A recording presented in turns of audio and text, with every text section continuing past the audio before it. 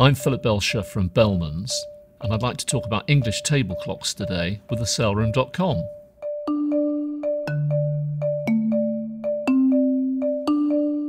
Following the invention of an accurate clock in the mid 17th century with a pendulum, they very quickly established a large trade in London in clockmaking. The cases were relatively plain, but there was some adornment, such as the finials here, little filigree panels, and a handle.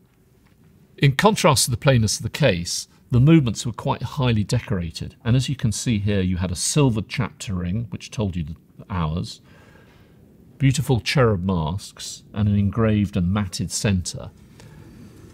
The back plates were always beautifully engraved with foliage and scrolls. They were designed to be portable, and at night, if you wanted to tell the time, you could take it to your bedchamber, and there was a small little lever at the side which would tell you the time.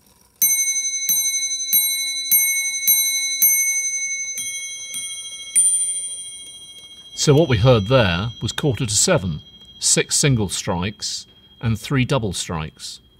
So moving on, here we have a clock that's a little bit later, it's probably around about 1715, 1720, and you'll notice it's in this beautiful walnut case, very rich, pleasing colour, a little bit more ornament as well, and you can see here you have these beautiful pierced panels of brass which are also engraved. Part of the uh, reasoning for this was not only to show off the great skill of the craftsman, but it also allowed the sound to come out of the strike and also the quarter repeat.